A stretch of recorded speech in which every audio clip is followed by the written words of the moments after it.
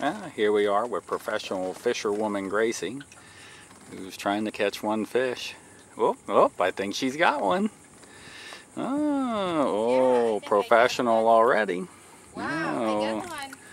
Yeah, she's she's got one already. One stinking lousy catfish. That's okay. But at least we know she can catch one fish anyways. Mm. Gracey's professional already. Okay, I guess I gotta unhook it. She's not quite that professional. Yeah.